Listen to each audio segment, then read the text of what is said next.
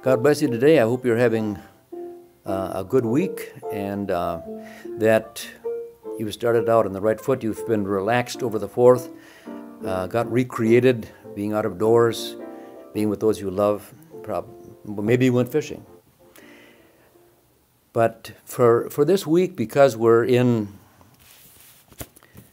the season of Pentecost, um, actually, the first Sunday of Pentecost was the 31st of May, so we've been now uh, a month and a little bit into the Pentecost season.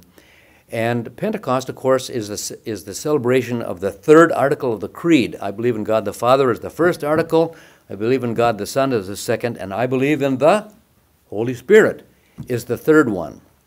Martin Luther has, uh, in his catechism, uh, his, he, he writes his interpretation of what each one of those means. And I just want to share with you what he writes for the third article of the Creed, which is about the Holy Spirit. He says, I believe that by my own reason or strength I cannot believe in Jesus Christ my Lord or come to him.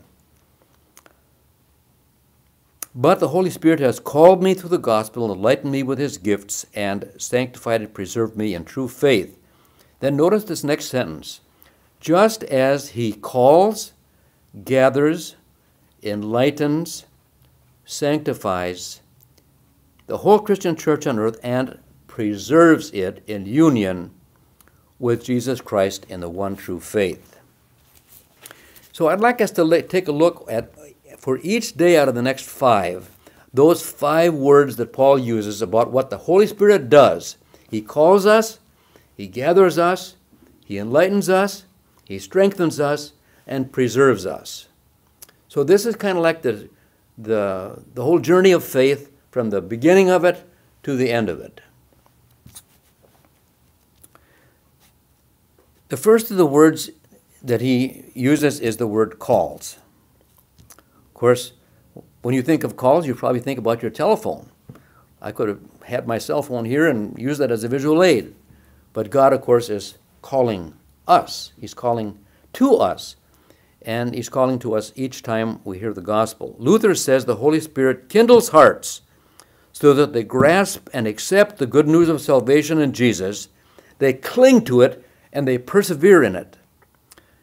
So, the tool in the Holy Spirit's hand to bring us to Jesus and to salvation is the gospel. The people who hear the gospel are the ones who can be saved if they say yes.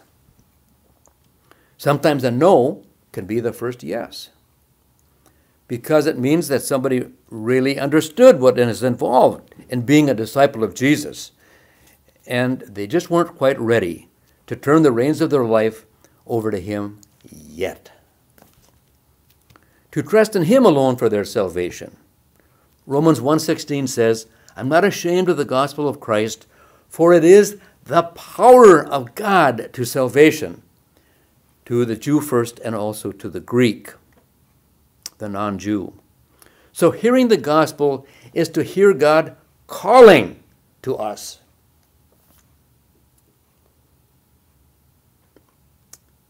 He's calling me, He's calling you. He wants you to hear the gospel as for me.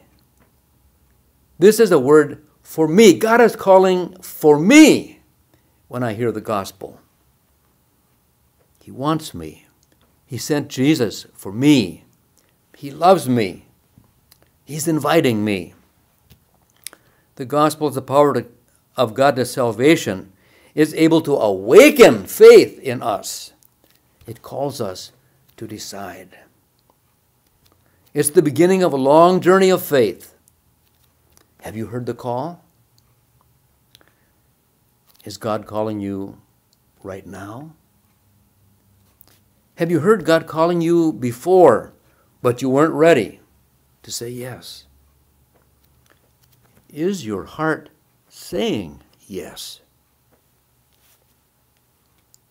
If you have some time, read the Gospel of John and keep saying yes to Jesus. Amen.